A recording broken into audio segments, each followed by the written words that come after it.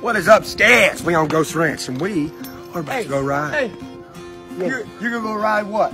the four Wheelies? Yeah. Without me? you want to get on with me? Yeah. What the fuck? Well, let's go. All right. You got a helmet? No, You gotta have a helmet. I'm not wearing a helmet. There's a helmet right there. I'm not wearing a helmet. Bro, you I got a to. cinder block head. There's a bunch of kids watching our stuff. Right, Gotta protect the noggin. For the kids.